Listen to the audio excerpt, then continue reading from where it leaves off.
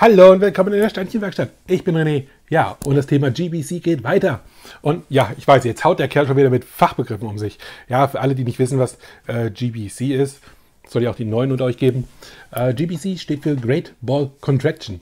Und zwar bezeichnet das modulare Aufbauten von Murmelbahnen, kann man, kann man so sagen. Ja, also sowas wie diese Mabel Run oder der Rainbow Stepper.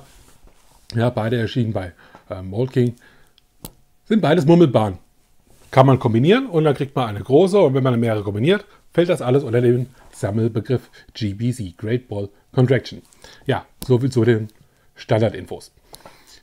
Ich bin ein absoluter Fan davon geworden, muss ich zugestehen. Und nicht nur ich, sondern meine ganze Family. Wir sind hin und weg von dem Thema, nachdem wir das gute Stück hier gebaut haben. Beim Falco habt ihr ja bereits den Rainbow Stepper gesehen, die 26004. Ich habe euch vor kurzem die 26002 von Molking gezeigt, den Mabel Run.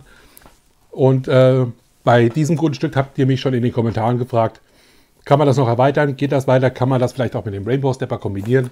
Und da soll doch demnächst was Neues kommen. Ja, da soll was Neues kommen. Ich habe schon hier. Und kann man das alles kombinieren? Und genau darum geht es heute. Zum einen werde ich das bauen, aber ich denke mal, technisch wird das hier nicht so viel hergeben, dass man davon ein Video machen kann. Äh, beziehungsweise wird auch kommen, klar. Selbstverständlich wird davon auch ein Bautech kommen. Aber primär geht es am Schluss um das Kombinieren.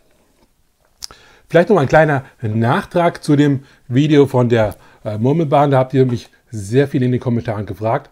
Zum einen habe ich die Videobeschreibung dahingehend aktualisiert, dass ich aufgeschrieben habe anhand meiner Längen von diesen Hoses, ähm, wie ich die mir aufgegliedert hatte. Mittlerweile haben mich Kommentare erreicht, dass bei euch die teilweise kürzer sind. Dann müsst ihr die Liste natürlich anpassen. Wie ich die Liste aufgesetzt habe, äh, meine Tabellenkalkulation, habe ich auch nochmal unten in der Videobeschreibung von der Mabel Run erklärt. Ansonsten kann ich sagen, habe ich die mittlerweile sehr gut ausgerichtet gekriegt. Bei mir läuft sie zu, ja, sagen wir mal 98, 99 Prozent sauber durch. Da fliegt mir selten nur noch ein Ball durch die Gegend. Wie gesagt, nicht 100 Prozent. Ab und zu fliegt immer noch mal einer rum, aber ich habe sie sehr gut ausgerichtet gekriegt. Hatte alles was mit diesen C-Clamps hier zu tun. Ich habe mir quasi noch einen neuen Tunnel gebaut. Ähm, und jetzt läuft sie mittlerweile einwandfrei werdet ihr am Schluss des Videos sehen. Genauso wie den Stepper, den haben wir uns noch zugelegt. Wie gesagt, ihr habt ihn ja schon mal im Video bei Falco gesehen. Wir haben ihn jetzt am vergangenen Wochenende gebaut. Tolles Ding, macht Spaß, macht Laune, läuft einmal frei. Man kann sie auch sehr gut kombinieren, hatte ich schon getan. Läuft gut. Kleiner Funfact am Rande. Die Box von dem Stepper, das ist die kleine, passt, wenn man sie umdreht, in die große und man hat eine Schachtel, die geschlossen ist und die Bälle nicht mehr raus So, aber kommen wir doch mal zum Vorhaben von heute. Wie ihr seht, hier ist noch, noch alles original verpackt. Gucken wir doch mal rein, viele Bauschritte uns erwarten. Es dürften nicht viele sein. Harte Fakten. Fangen wir mit den harten Fakten an. Ihr habt ja recht. So. Also, wir haben es heute zu tun mit Smoking, der 26008, ein Bauspaß von 1508 Teilen. Und zwar der, der Harp Track. Ja, auch hier steht es jetzt auch drauf: Great Ball Contraption GBC System. Hier drin werden sich wahrscheinlich die Power Functions befinden. Davon gehe ich mal aus. Wobei, die sind recht überschaubar, nämlich ein XL-Motor und eine Batteriebox. Die bedürfen, die bedarf drei, nee, sechs AAA Batterien. Also wird mit 9 Volt betrieben. Es ist ein ganzer Haufen Holz, deswegen habe ich mir schon was gebaut.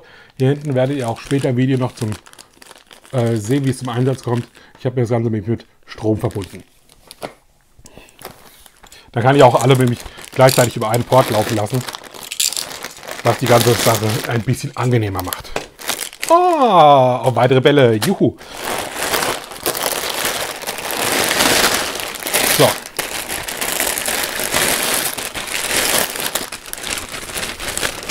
Ich weiß gar nicht, seit wie lange ist das jetzt mal wieder ein Antüting bei mir. Ja, Nummer 2, Nummer 1, Nummer 3, 4. Oh, oh, oh, doch so viele. Ja, vier Stück werden es sein. Drei. Und nochmal Stopper.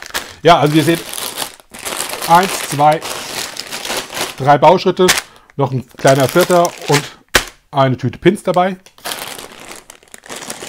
Ja, da sind auch blaue Pins. Ja, also das werdet ihr meinen GPCs generell nicht sehen. Blaue Pins, die tausche ich von vornherein hier gleich aus, weil wir finden das Thema ähm, so rattenscharf, also mit mir meine ich meine Familie und mich, dass wir hier überall die schwarzen Pins gleich austauschen. Das bauen wir uns teilweise dann auch auf, als, als Deko auf. Und ich kann euch immer schon mal verraten, bei Molting ist jetzt zwar noch nichts Neues angekündigt in Sachen GPCs, aber bei mir auf dem Kanal. Ich habe mir noch zwei weitere bestellt. Geht in das Thema Mock rein, aber es kommen noch mindestens zwei weitere GPCs bei mir, weil, wie gesagt, ich bin für das Thema jetzt Feuer und Flamme. Und da wird es einiges geben in nächster Zeit, weil es ist faszinierend. Ja. Erwachsener Mann, der mit kleinen Bällen spielt. Was gibt Schöneres? Ja! So, äh, nicht lang gebabbelt, ran an die Steine und los geht's.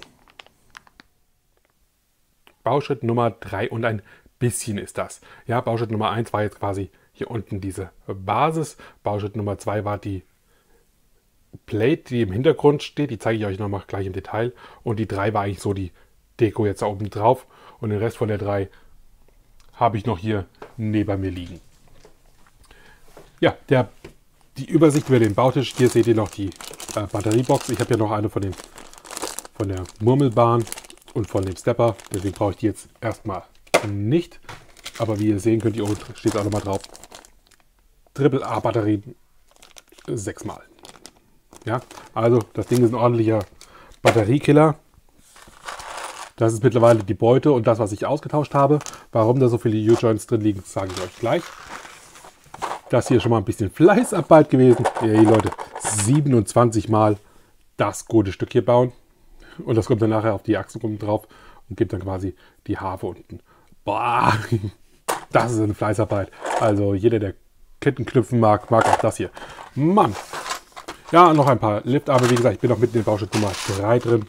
Und hier sind noch weitere Teile davon. So, das war die Übersicht. Die äh, Bauanleitung nochmal ganz kurz erwähnt. Molking 26008 Great Ball Contraption Harp Track. Ja, 1508 Teile. Bauspaß. So, ja, wir kriegen erklärt, wie wir den Motor verbinden sollen mit unserer Batteriebox und dann werden wir auch schon gleich ins Modell geworfen. Mir läuft soweit ganz gut. Ein Fehlteil hatte ich, das musste ich ausmerzen und das war auch schon ziemlich am Anfang hier. Da hat mir mich, nee, das war am Anfang von Sparschritt Nummer 2, da hat mir eine Plate gefehlt. Eine 2x12er Plate hat mir gefehlt, die hier drin sitzt und die habe ich dann letztendlich, ihr seht es, 2x6er mit zwei 2x6ern ausgetauscht. Da ist die Schnittkante, das sollte eine durchgehende sein, die hatte mir gefehlt. Okay, kann mal passieren, nicht schön, aber kann passieren. Ansonsten Bauanleitung sehr übersichtlich und was soll ich sagen, Mold King haut schon gleich auf Seite 10 einen Fehler rein. Beziehungsweise sie hauen ihn nicht nur rein, sie haben ihn auch so vom Designer her übernommen, auch in seiner Anleitung, die ihr übrigens kostenlos bei Rebrickable runterladen könnt. Ich werde den Link in der Videobeschreibung niederschreiben. Ist diese Vierer-Achse hier oben. Die hat auch der Designer so da drin. Äh, was sich jetzt vom Designer unterscheidet, ist, der Designer hat hier nur eins von diesen Elementen drin. Molking setzt jetzt zwei rein, okay. Ähm, der Designer setzt auch hier einen M-Motor ein. Wir haben hier hinten den XL-Motor. Das sind so die größten Unterschiede. Beziehungsweise die Zahnräder hier sind beim Designer Rutschkupplungszahnräder und hier haben wir diese grauen 24 Zahn Zahnräder. Ja, Molking setzt hier von zwei Stück ein. Das ist jetzt noch nicht weiter tragisch, ob eins oder zwei. Und hier sollen wir dann eine Vierer-Achse einsetzen. Hier vorne. Diese hier. Klingt auch erstmal ganz gut. Und man fummelt sich da so ein bisschen hin und dann klappt das auch einigermaßen. Na, wir gehen mal zum Modell. Dann kann ich es euch besser zeigen. Das ist die Vierer-Achse. Also wir kommen vom äh, Motor, von kleinen 8er Zahnrädern auf die großen 24er, werden übergeleitet, hier unten nochmal übergeleitet beziehungsweise die Welle von den 24er Zahnrädern geht durch, geht hinten auf die U-Joints, werden einmal diagonal nach oben geleitet und dann sollen wir hier die Vierer-Achse einsetzen, die hier auf diese Zweier Halbliftarme kommt, die dann durch eine Wellenbewegung, durch eine Kardanwelle quasi, hier oben diese Stufen auf und ab bewegt und wird weiter durchgeleitet dann zu dem Mechanismus, der hier oben die Bälle dreht. Äh, nicht wundern, hier oben, ich habe hier ein bisschen Optik betrieben. Ja, hier dieser ähm, Starter drauf, der ist von mir. Da ist normalerweise ein grauer Pin drin, ohne äh, Fliese drüber. Genauso wie hier ist normalerweise eine schwarze Achse drin. Ja, ich habe mir das alles ein bisschen angepasst. Genauso wie hier, das ist normalerweise ein grauer U-Joint. Äh, ich habe jetzt einen schwarzen genommen, weil ich hatte einfach nur einen. Und das Zahnrad hier sollte eigentlich auch ein beige sein. Ich hatte noch ein graues, deswegen nicht wundern, dass es hier ein bisschen anders aussieht. Aber eine Technik ändert das nichts. Wo war ich? Achso, ja, äh, die Achse. Also zum einen das Reinformeln ist jetzt schon absolut tricky und da hat sich Moking auch genauso an die Anleitung des Designers gehalten. Hier ein bisschen Luft lassen, hier drüben an der Stelle ein bisschen Luft lassen. Ja, läuft, kann man so machen. Mhm. Klarer Fall von Denkste. Wenn ihr das ganze gute Stück dann jetzt mal anschließt an die Box. Klopp. Ihr seht, es ist ab. Es ist ab. Die ist einfach zu kurz. Die Vierer ist definitiv zu kurz. Ihr könnt euch jetzt äh, damit behelfen, dass ihr das gute Stück einfach minutiös, millimetergenau ausrichtet. Also immer ein bisschen mit dem Fingernagel reingehen und ein Stückchen weiterschieben, weiterschieben. Trotzdem wird er weiter immer abgehen. Einfachste Lösung überhaupt. Ersetzt den, die Zweiachse, die da drin ist, durch eine Dreierachse. Und die ganze Sache läuft dann schon viel geschmeidiger. So, ich habe jetzt einfach nur eine Dreierachse eingesetzt. Ja, die Zweier ist hier. Und wie ihr seht, es läuft ohne auseinanderzufallen. So einfach ist das, ja. Die Zweier da in der Mitte getauscht durch eine Dreier und alle sind glücklich. Ich werde die ganze Sache allerdings noch einen Schritt weiter gehen. Ich werde es noch ein bisschen hübscher machen. Ich werde mir dort eine Viererachse einsetzen.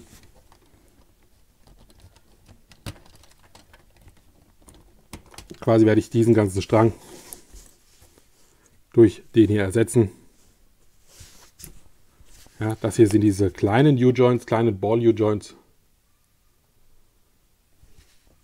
Und dass man diesen Achsstopper hier hinten reinsetzt, der sitzt quasi genau hier in der Lücke.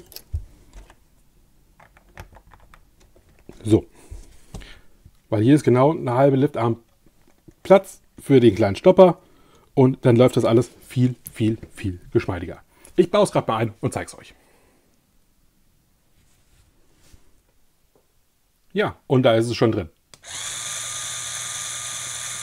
Und wie ihr seht, es hat den gleichen Effekt. Ich finde es nur ein bisschen äh, optisch ansprechender und ich finde, es läuft auch wesentlich geschmeidiger rum. Vorher hatten wir da immer noch so einen kleinen Absatz drin und jetzt läuft es schön geschmeidig rund.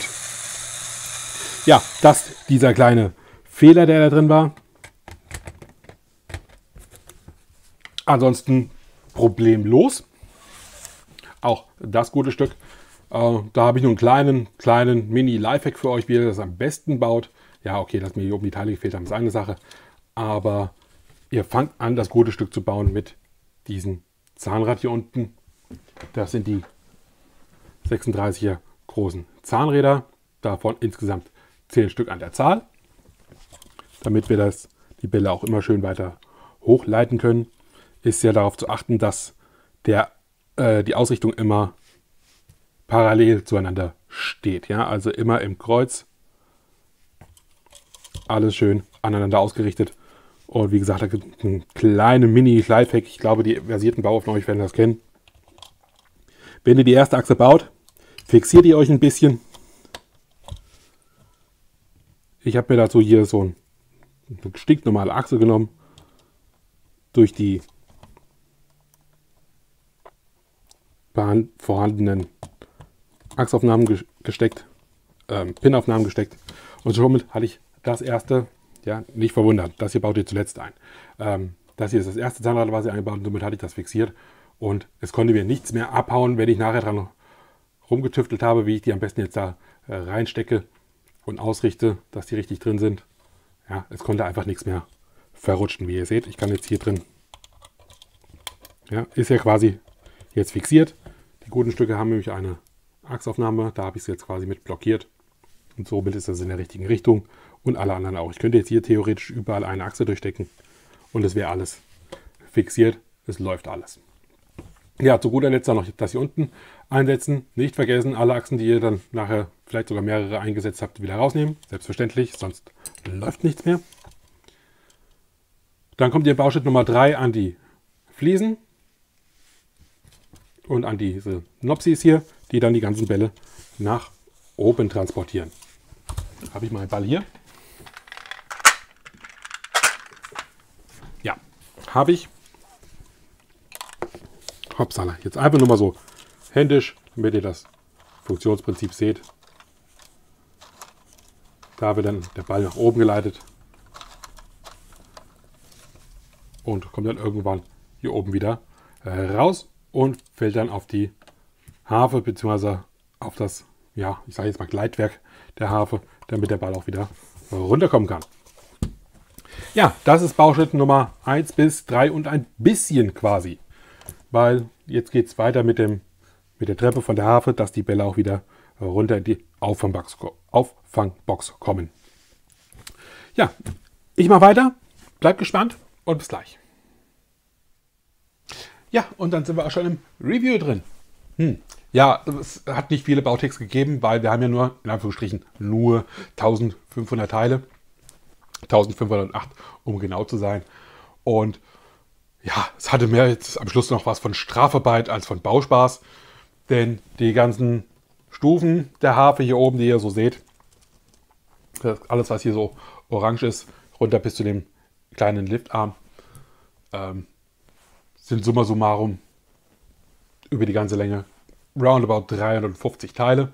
Immer wieder dasselbe, ja, sprich 27 mal das identische bauen, vorne und hinten nochmal ein klein wenig, aber Mühe abgeändert, ja, wegen den Aufnahmen vorne und hinten und das war es dann auch schon. Also sprich baut man eigentlich 29 mal dieses kleine Element hier oben und dann muss man unten drunter die Stangen zusammenpuzzeln. Das hatte mehr was von Strafarbeit als von Bauspaß.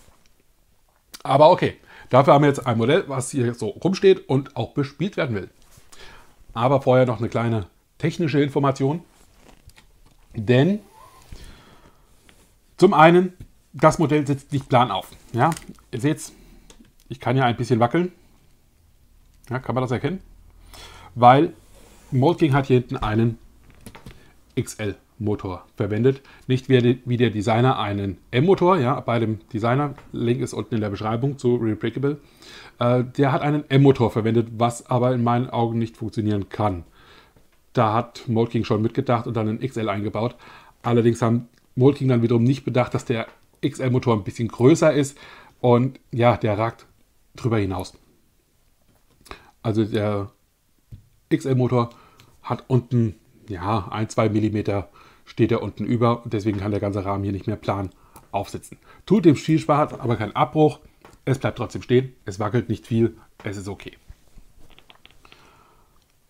Noch eine kleine technische Änderung, wobei eigentlich auch nicht, denn ähm, ich hatte es ja bereits erwähnt, die Achse hier unten drunter, habt ihr eben im Bauvideo gesehen, ist zu kurz. Entweder ist die Vierer zu kurz oder die Dreier zu kurz müsst ihr gegebenenfalls austauschen oder sehr minutiös und äh, haargenau ausrichten.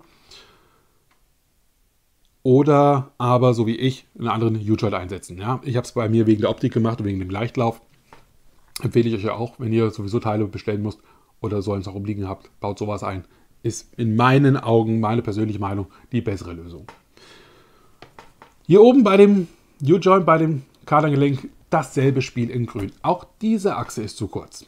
Und das ist jetzt auch kein Fehler von Molking, beziehungsweise indirekt schon, weil auch der Designer hat es falsch gemacht. Molking hat es einfach nur eins zu eins übernommen und somit ist der Fehler da auch drin. Da braucht ihr aber keinen extra Teile. Ihr könnt einfach die Achse hier unter den untersten, unter der untersten Nase, Hörnchen weiter durchstecken. Hinten den Achsschrauber ein bisschen weiter rausziehen, damit das weniger Spiel hat. Und dann passt das auch in den U-Joint rein, in das Kadergelenk rein und die ganze Sache läuft. Also da braucht ihr nichts weiter. Sprich, es ist ein fast, fast fehlerfreies äh, Modell. Das ist sehr schön, das ist sehr gut. Wobei, ja, wie gesagt, ich weiß nicht, ob es äh, äh, kopiert haben, ob es ein geklauter Mock ist oder wie auch immer. Denn auch der Designer sagt auf seiner Seite, er hat das auch nur von einem anderen Designer übernommen. Und dann sind jetzt natürlich die Streitfragen groß. Wer war zuerst? Wir haben es jetzt hier stehen. Alles ist gut. Ich verlinke alles, was ich finden kann, unter dem Video und bildet euch eine, eure eigene Meinung dazu. Ja, Maße. Maße, Maße. Fangen wir mal so an. In voller Breite. In voller Breite ist das Ding nicht gerade klein. Da haben wir es mit guten 80 cm zu tun. In der Höhe 40 cm und so in der Tiefe haben wir es dann immer noch mit 41 zu tun. Also ihr braucht ein bisschen Platz für das gute Gerät, aber dann gibt es auch einen Haufen Spielspaß. Ich, ich zeige es euch jetzt erstmal anhand von, dem, von der Batteriebox, so wie ihr es auch nach Hause bekommt. Und das gute Stück, ihr seht die Harfe kann man schön drapieren, wie man sich das möchte. Und kann dann hier vorne einfach alles einhängen. Das ist auch sehr nice. Ja, sprich, die Kugeln kommen immer wieder zurück in das Bassin und werden wieder hochtransportiert, können wieder runterlaufen und so weiter. So, ich habe alle Bälle schon mal rein, äh, zusammengetan, meine, meine ganzen von den ganzen Modellen. Ähm, sprich, ich habe jetzt um die, keine Ahnung, paar 20 Bälle. Bei dem Modell dabei sind 10 Stück. So, hauen wir mal ein paar, paar Stück da rein. Ach, machen wir alle, was soll's. Klemmen das gute Stück an die Batteriebox an. Und schon beginnt der Spaß.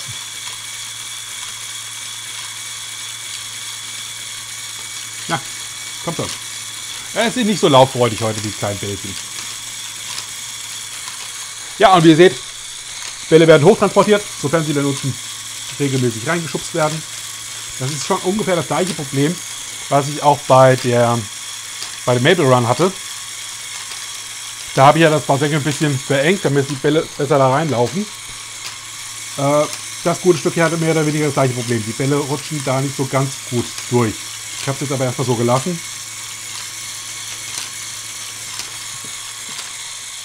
Komischerweise, der Rainbow Stepper hat das gleiche Bassin. Da ist das Problem nicht. Oder nur sehr gering. Naja, okay. So, wie ihr seht, es funktioniert. Es funktioniert sehr gut. Das freut uns alle. Und dann wollen wir noch mal sehen, ob wir die auch alle verbinden können. So, das heißt, wir sind mit dem Review jetzt eigentlich von diesem Modell eigentlich durch. Und jetzt beginnt mal die Spielzeit und wir gucken mal, ob wir die auch verbunden kriegen. Ich habe da schon was vorbereitet. Oder wie heißt es immer so schön? Dann nehme ich jetzt mal die Batteriebox weg. Denn wenn ihr alle Dinger immer mit einer Batteriebox betreiben wollt, ja, werdet ihr auch indirekt arm. Deswegen gebe ich da euch auch den Tipp, bastelt euch irgendwas, dass ihr da um die 9 Volt draufkriegt mit so einem Adapter und die ganze Sache läuft dann wesentlich geschmeidiger, sofern ihr auch wie ich das GPC-Thema ein bisschen ausbauen möchtet. So, wie gesagt, die Batterieboxen tue ich mal auf Seite, weil jede Batteriebox schluckt, wie ich schon gesagt hatte, sechs AAA-Batterien. Deswegen um die erstmal auf Seite. Ich werde das Ganze jetzt mit ein wenig Strom betreiben. So, ich muss mir alles mal ein bisschen jetzt hier ausrichten. Du kommst dahin, du kommst dahin und du kommst so rum.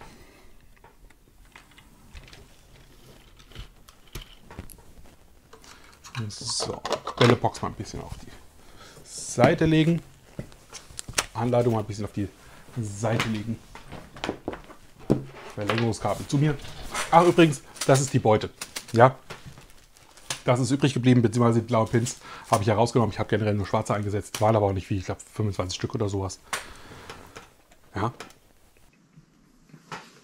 So. Gleich ist es soweit, gleich können wir anfangen zu spielen.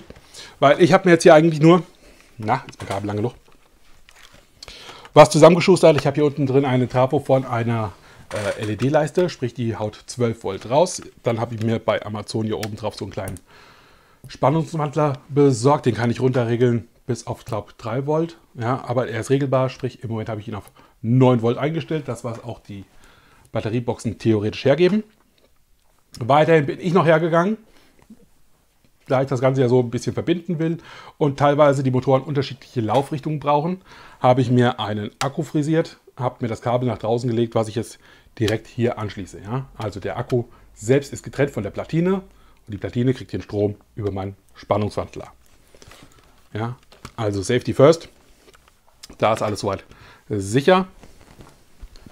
Und dann muss ich das Ganze jetzt noch verbinden. Verbinden. So, ich habe mir das alles ein bisschen farblich markiert. Auch du musst noch da dran. Eine kleine Verlängerung, weil es, wie ihr seht, es nimmt schon Ausmaße an. Mein Tisch ist schon voll. Und ich habe noch vor, mit weiteren GPCs zu arbeiten. Und da wird es dann noch voller. Uiuiuiui. Bei den Entschuldigung. Bei dem Rainbow Stepper und bei dem bei der Harfe jetzt ist es auch gar nicht so schlimm, wenn ihr da mit den Batterieboxen arbeitet. Ähm, wenn die nicht ganz mit 9 Volt laufen, sprich wenn die Batterieleistung nachlässt und das Ganze auf 8,5, 8 runter geht, passt das auch noch. Bei der Maple Run sieht das Ganze schon wieder anders aus. Also die braucht fast immer ihre 9 Volt, um das Schwungrad, was das Ganze antreibt, ähm, auf eine Geschwindigkeit zu bringen. So, es ist alles eingeschaltet. Und ne, du musst hier hinten dran. So.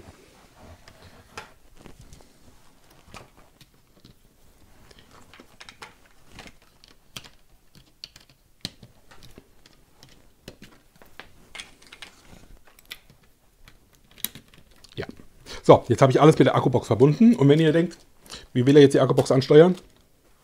Also zum einen habe ich mir genommen eine 6-Kanal Akkubox und äh, das hat mich den Vorteil bei der 6-Kanal Akkubox können wir alle Kanäle gleichzeitig ansteuern, nur mit einem Tastendruck.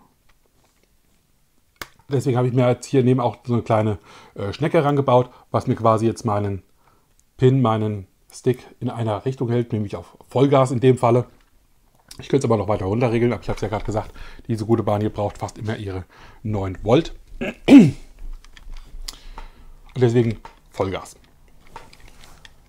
Noch dazu kann man hier sehr einfach, noch einfacher als bei der Standard digitalen Fernbedienung, ähm, die Laufrichtung der Motoren ändern. Teilweise muss man das nicht machen. Hier ist es nämlich zwingend notwendig, dass die hochlaufen. Beim Rainbow Stepper ist das relativ egal. Ja, der macht ja eh nur eine Hoch- und Runterbewegung. Und hier ist es wieder wichtig wegen dem Schwungrad. So, Akkubox einschalten, Fernbedienung einschalten.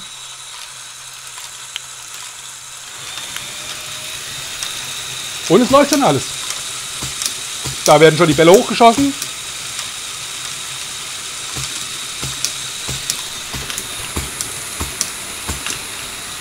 Und ja, ja. Nee, du bist ein kleiner Trottel. Du bist so ein Trottel.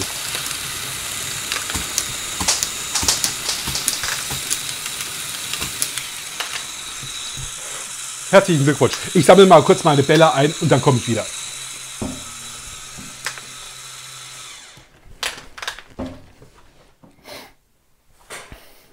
Ja, da bin ich wieder.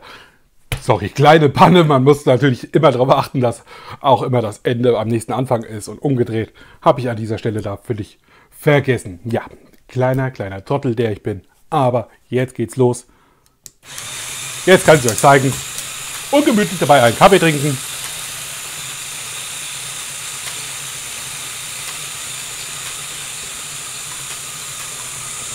Also ich finde das richtig nett, wie das alles so schön vor sich hin summt. Ja, auch wenn diverse Leute wissen wollen, wie die Harfe klingt. Ähm, nein, ich, werde, ich bin musikalisch sowas von unbegabt. Da müsst ihr leider darauf verzichten. Ja, und wie ihr seht, auch meine der Maple Run funktioniert jetzt fast, fast tadellos, wenn sich nicht gerade wieder die Bällchen uneinig sind, wo sie lang sollen. Ja, da fliegen die ersten schon wieder runter.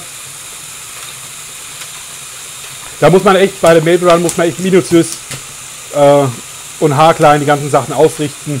Hier und da von den Hoses nochmal einen Millimeter abnehmen, damit das dann alles passt. Und ihr seht, es klappt jetzt zu großen Teilen, aber auch noch nicht hundertprozentig. Das ist echt eine absolute äh, Feinjustierung. Juhu, hier fliegen die Bälle rum. Ich habe meinen Spaß. Mal gucken, wie viel ich nachher noch wiederfinde. Aber wie ihr seht, der Rundlauf funktioniert. Einmal frei. Eine riesen Gaudi. Ich habe die Hände frei. Ich muss hier nichts anstellen, abstellen. Durch meine Fernbedienungsmodifikation, Mock, wie auch immer. Ja. Und dann kann man sich daran erfreuen, wie die Bällchen rumlaufen, rumfliegen in der Gegend. Und in Sachen GPCs hatte ich ja schon bereits angekündigt, es wird noch mehr geben. Ich habe noch zwei Stück in Planung, mindestens. Dauert allerdings ein bisschen, bis die jetzt kommen. Weil der eine ist doch sehr aufwendig davon. Beziehungsweise die ganzen Teile müssen auch erstmal einbrudeln. Ja. Bleibt mir nichts weiter zu sagen, außer bleibt schön gesund da draußen. Klemmt was Feines, habt Spaß und bis bald.